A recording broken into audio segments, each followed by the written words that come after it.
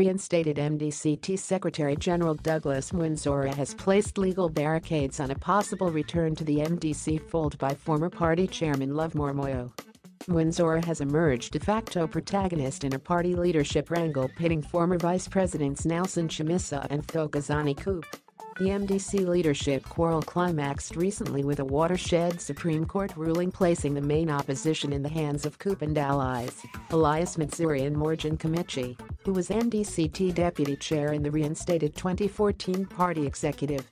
Mwonzora has lost no time in flexing his muscles with a shock recall on four top MDC Alliance MPs from Parliament, putting the Chamisa-led MDC in disarray and anguished MDC Alliance faithful took heart recently when forgotten ex-MDC T Party National Chair Love Moyo was pictured with current party VP Welshman Ncube, fueling speculation Chamisa could rope in the former parliamentary speaker to scuttle the coup-led group's plans. Political analyst Pedza Ruhanya said, if the Supreme Court judgment was to be applied as was fervently being argued by Khupe and her group, Moyo would have to retain his chairmanship post.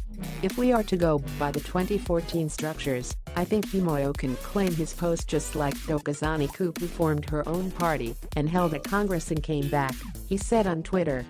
However, Mwonzora was Monday quick to stick out a sharp elbow on the path of a possible attempt by Moyo to return to the MDCT fold, declaring the respected politician surrendered as MDC rights by formally dumping the opposition.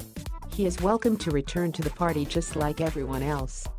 However, the fact of the matter is that he can't return as chairman, Mwonzora told NewZimbabwe.com. This is because he resigned in writing. And by operation of our constitution, once a chairperson resigns, a deputy chairperson takes over as chairperson.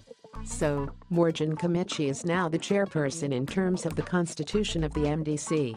Mwonzora added, secondly, if we go to the Supreme Court judgment, Love Moyo was not a party in the Supreme Court. He Moyo is not mentioned in the Supreme Court judgment. Morgan Komichi is specifically mentioned by the Supreme Court judges and is declared to be the national chairperson of the party.